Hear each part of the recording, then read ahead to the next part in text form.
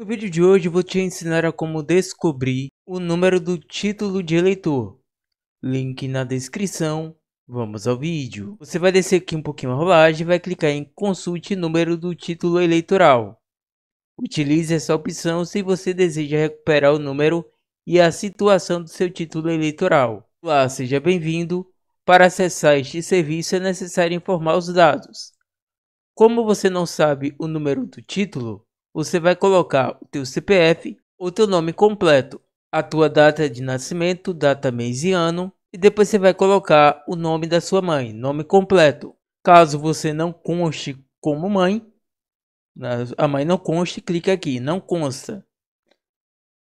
Agora clique em entrar e aqui vai aparecer o número do título de eleitor. No caso aqui eu coloquei o meu nome completo, tá? E apareceu o número do título. Espero que tenha te ajudado. Tem dúvida sobre algo? Use o campo de comentário do vídeo para tirar sua dúvida. Não esqueça de se inscrever no canal e deixar o teu like.